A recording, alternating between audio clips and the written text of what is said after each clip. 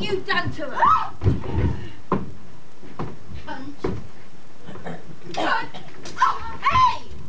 I'll shut you lot up if it kills me. Chain her up! I want better than this, matron. Well, you've got the wrong person. Charlotte, Go play with yourself. all solid behind the martyr, are we? Cheap rabbits, that's all. No need to harm kill her, though. Uh, what's he done to her? 24 flashes, sunshine. Unusual, but you lot gotta learn. I lost two teeth on account of her, and that ain't something I take kindly to. You They just ought stood, to string you up.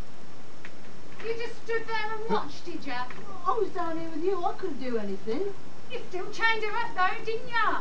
Where you're going, Sonny, you'll end up in here with them. Door!